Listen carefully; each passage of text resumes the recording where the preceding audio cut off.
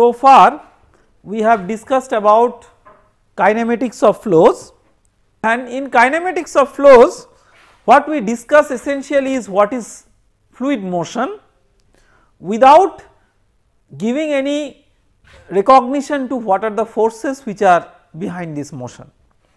Now obviously when a fluid flow takes place there are various forces which are acting which is making the flow to occur. The obvious forces can be described or broadly categorized in form of a driving force which drives the flow, it may be one or a number of driving forces and some resistive force which is opposing the flow. Now from your basic knowledge in physics you know that one of the obvious resistive forces is the viscous force. But there are situations when the resistive forces in terms of the viscous effects are not that important and such cases are called as uh, inviscid flows. So the question is and it is a very obvious question that we know that all fluids have non-zero viscosity. So why should we study the dynamics of viscous flows at all? This is the first question that we should address our students. So there are various perspectives to it and I will give you two perspectives. One is imagine that there is a very high speed flow taking, taking pass across a solid body. So, if the flow is of very high speed we will later on see that how to quantify that in terms of Reynolds number and so on, but just assume qualitatively that it is very high speed flow then the effect of the wall will be felt in the flow only for a very thin layer of fluid which we will later on study formally as a boundary layer. Outside this boundary layer the fluid will not directly feel the effect of the wall that means the momentum disturbance because of the effect of the wall will not be propagated to that outer layer. So the outer layer will not understand any momentum disturbance because of viscous effects. So although the fluid has viscosity but the outer, outer layer fluid will be dictated by a law of motion for inviscid flow. So fundamentally when such a situation takes place we can say that you know the shear stress which is uh, one of the manifestations of viscous effect it is a combined product of two things. One is the viscosity another is the rate of deformation. So, if the rate of deformation is 0 or negligible then it does not matter whether the fluid has viscosity or not the net effect is that there is no viscous shear stress. So, there are many practical situations where you have a layer of fluid within which viscous effects are important, but there is an outer layer where viscous effects are not important and we can use therefore the inviscid flow analysis. The advantage with this analysis is that with viscous effect the order of the governing differential equation is second order and with inviscid flow it becomes a first order equation until and unless there are external forces which give rise to higher order effects. But normally uh, the velocity the effect related to velocity gradients are confined only to first order. So, there is a whole lot of motivation in studying inviscid flows and uh, we would start with a very simple exercise of deriving the governing differential equation for inviscid flows which is the so called Euler equation of motion.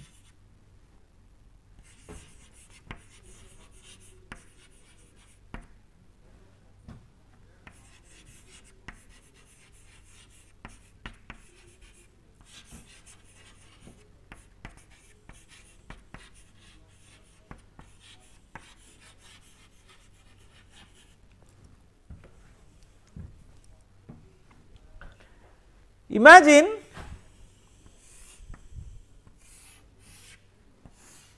that there is a control volume like this.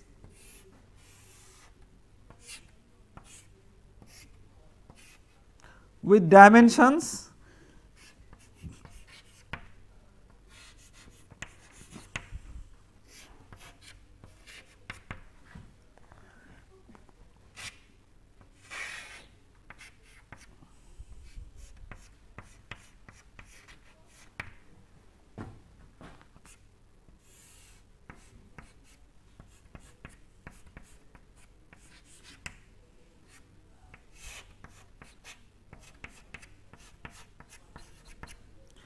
delta x, delta y, delta z along x, y and z.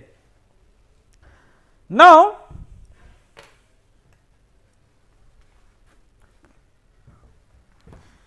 let us analyze all the forces along x direction. So, one possibility is that we make a control volume and do a control volume analysis. This is what could have been the traditional purpose, but you can also imagine this as a fluid element and write equation of motion for a fluid element. They are two different things. So, when we draw this a box like this, it might represent a control volume, it might represent an element of fluid. In the latter case, it is a control mass. Because we have not yet formally learned how to write conservation equations for control volume, we will not follow a control volume of approach here, but we will try to adapt to a control mass or fluid element based approach. So, we will assume this as a fluid element. What are the forces on this fluid element along different directions? So, let us identify the force along the x direction. If the pressure here is P, then the force on the surface is this one. And then the pressure here is P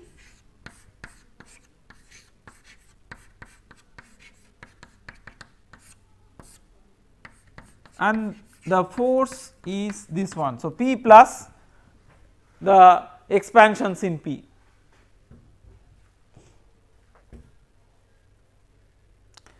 Therefore, the resultant force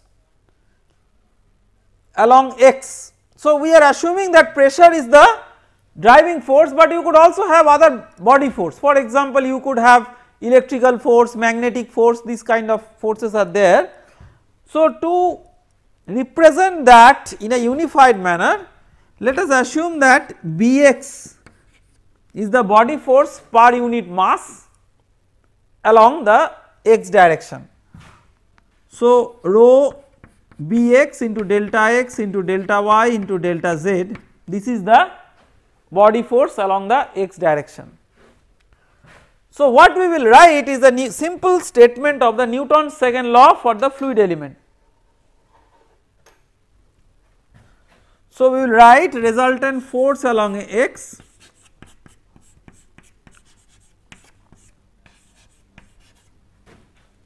is equal to the mass of the fluid element times the acceleration along x. So, resultant force along x if you make a balance of this, this becomes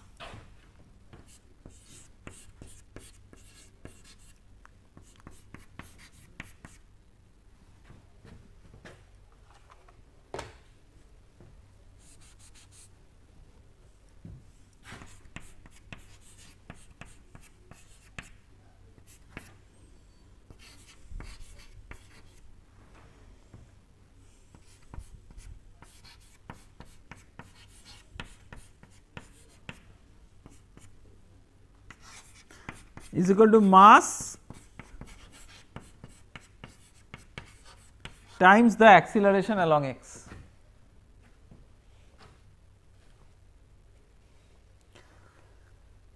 So, and there are higher order terms here. If you take now the limit as delta x, delta y, delta z tend to 0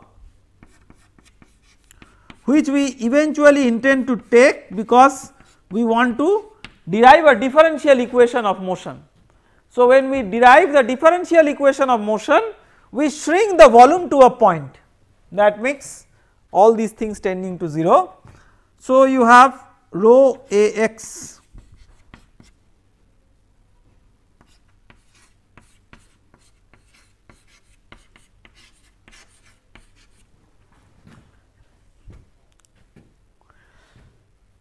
in terms of Eulerian variables if you write Ax, see you Ax is acceleration this you can write in terms of Lagrangian variable, Eulerian variable whatever. So if you write it in terms of the Eulerian variables then this becomes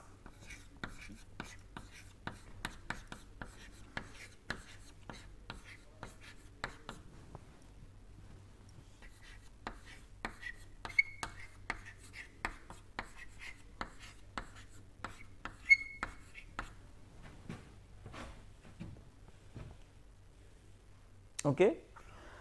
So, what it essentially means is that your equation of motion along x direction which we call loosely x momentum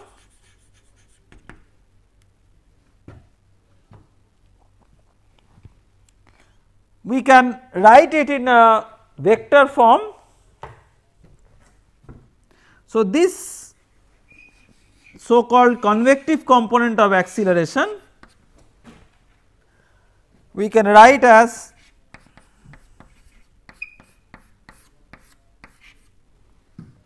this one right. So, dot product of the velocity vector with nabla with multiplied uh, operated on u. So, this becomes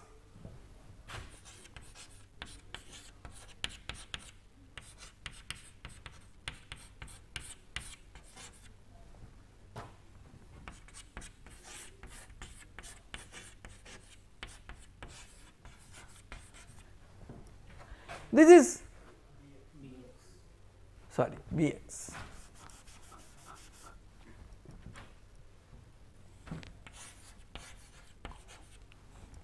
So, this is the Euler equation of motion along the x direction. Rho is there, right.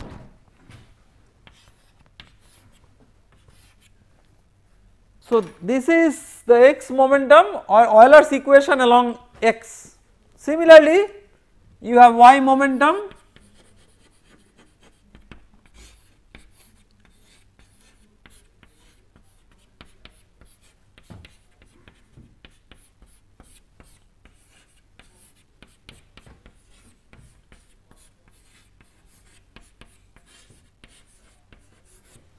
and then z momentum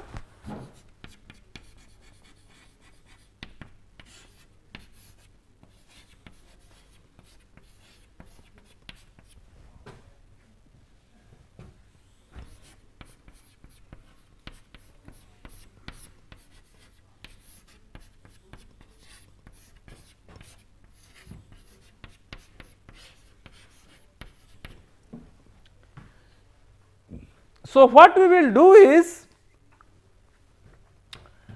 we will multiply this with the unit vector along x, multiply this with the unit vector along y and multiply this with the unit vector along z and add so that we can get uh, an equation which is solely written in terms of the velocity vector. The advantage in writing that form is that when we write a vector form Unlike this form which becomes coordinate system dependent that form will become coordinate system independent. So, you can write this vector form for some special cases. So, if you do that then you will get rho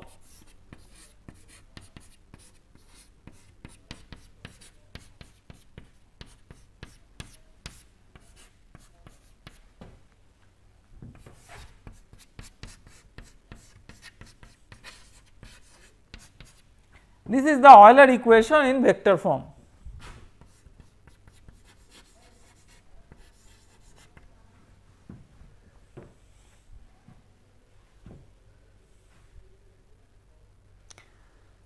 Now we can simplify it further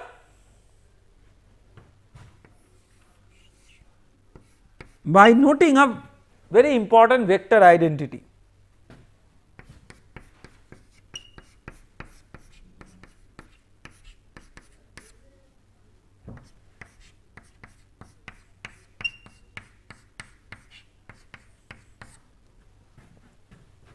Okay.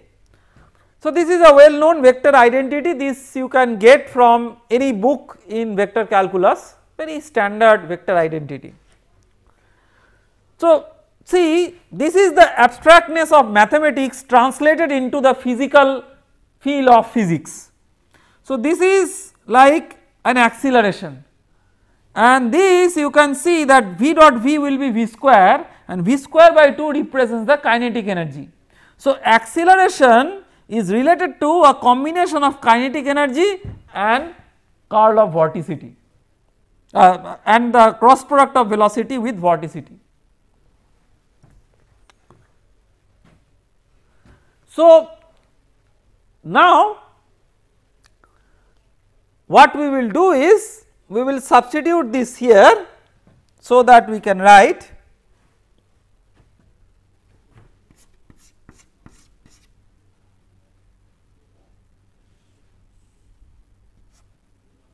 So, first we will write the unsteady term maybe rho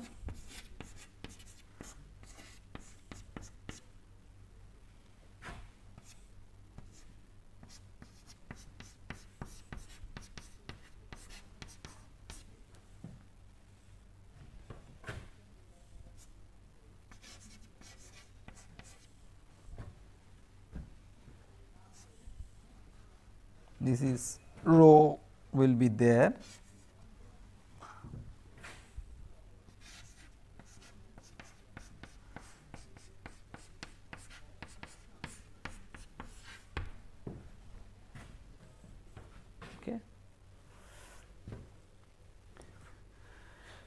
So far so good, but these equations contains vector derivatives. And then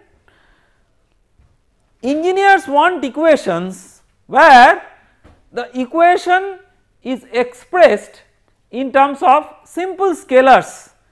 And maybe so nice if further the scalars are expressed in algebraic form rather than forms involving derivatives or integrals. Such a form can readily be obtained after we do a couple of steps. One is we take a dot product of this with a line element in the flow field dl, any arbitrary line element in the flow field dl, this vector from one point to another point a differential vector. So, what we will do is we will take a dot product of this with dl.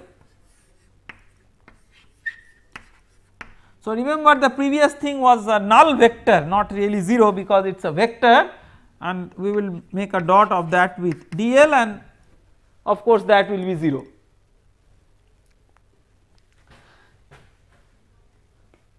We will not consider the unsteady term to begin with because we will have separate treatment for that. So, we will consider the second term and the third term with their dot product with dl. So,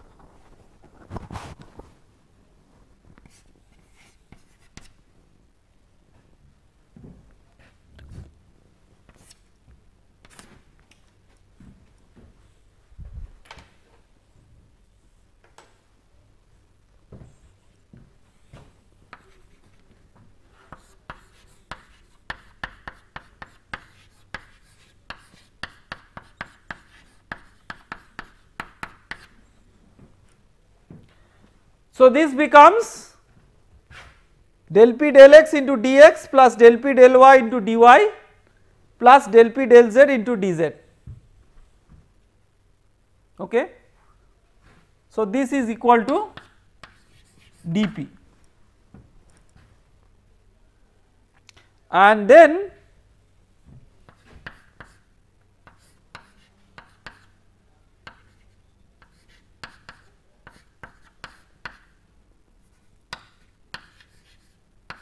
In a very similar manner this will be d of v square by 2.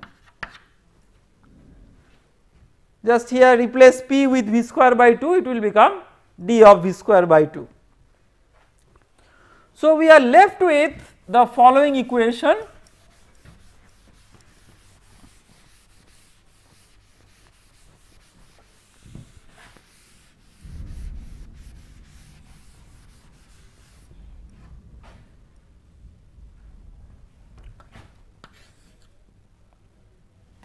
So maybe we can divide by rho all the terms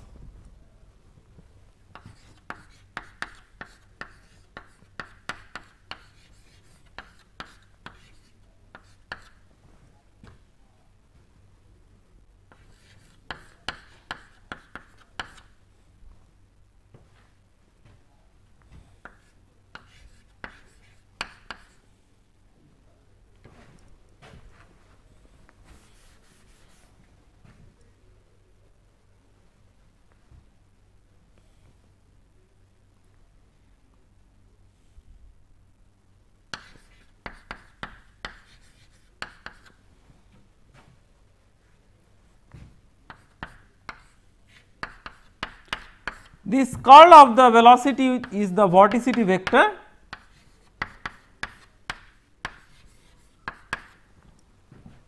okay.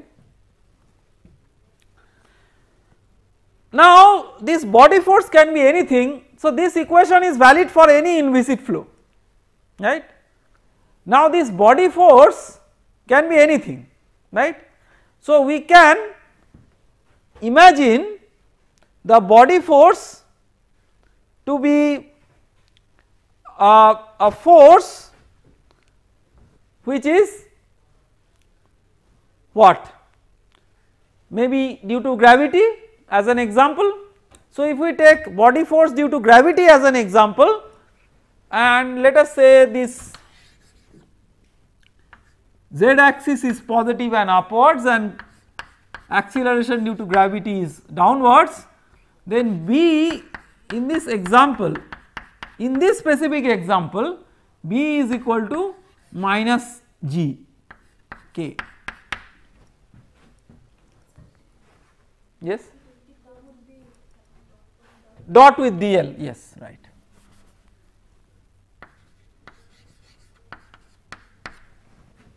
Right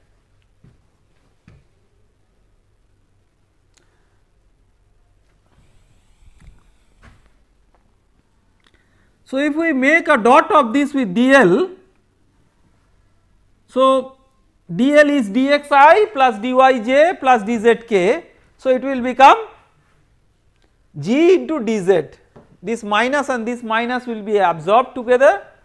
So, it will be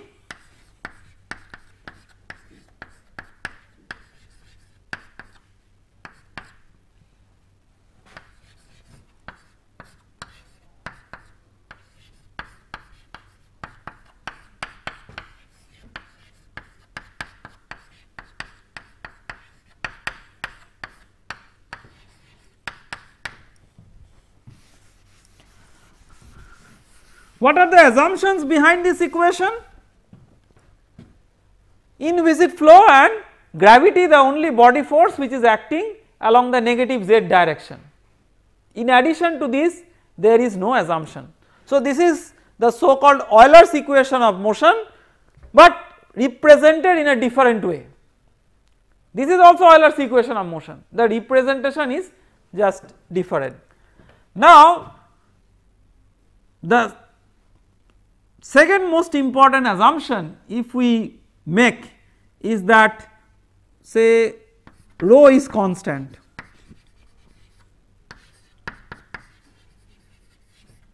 Then we can club all these things together and we also assume that g does not vary with z.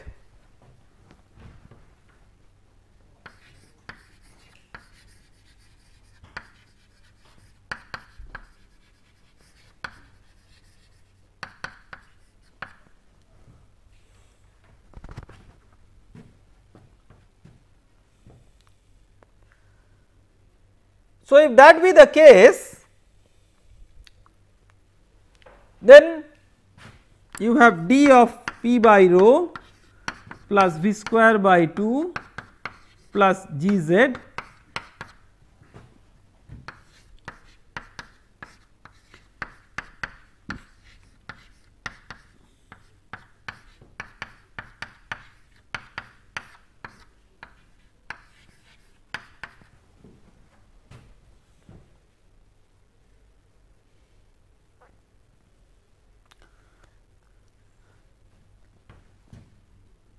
Next we assume see we are going on making assumptions one after the other and from your prior experience you can understand that eventually with a series of assumptions starting with the Euler equation we are trying to reach the Bernoulli's equation. But it is very important that we understand this systematic way of looking into the assumptions that is getting or taking us towards the uh, final form. So, next we assume steady flow. So, clearly for steady flow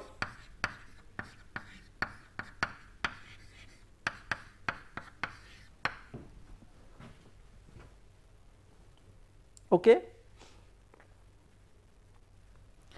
So, we have steady flow then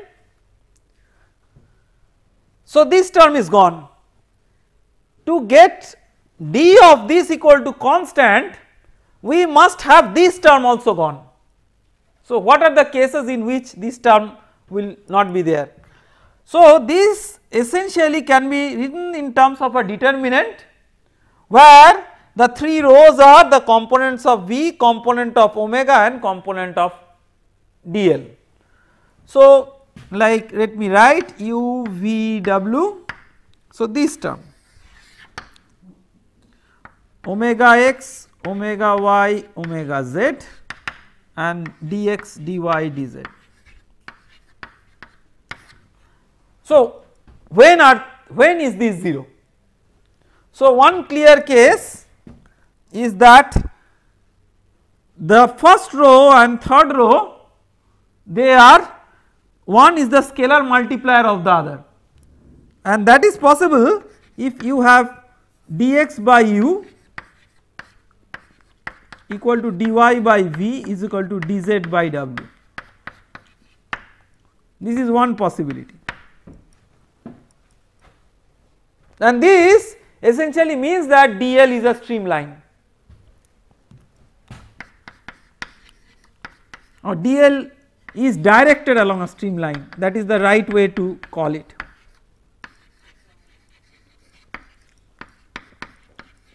But there are other interesting cases. The second is the vorticity is a null vector. That means irrotational flow.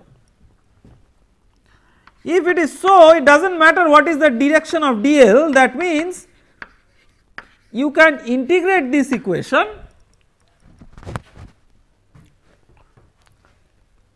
along any direction.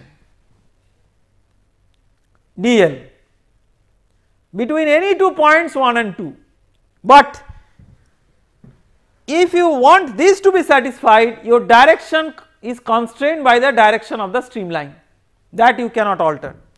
There are third possibilities that for example you could have these also one scalar multiplier of the other. So u by omega x is equal to v by omega y is equal to w by omega z but that is you know something which is very very unlikely that is the velocity and vorticity are aligned in the same direction. A more likely condition is something where you choose this dl in such a way that v cross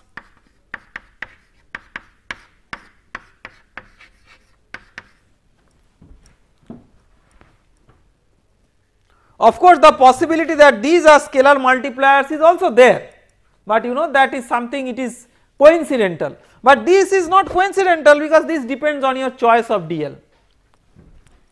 So, with all these, so either of these not all of these together if either of these is satisfied then this becomes 0 then you are left with d of p by rho plus v square by 2 plus gz is equal to 0 that means you have p by rho plus v square by 2 plus gz is equal to constant.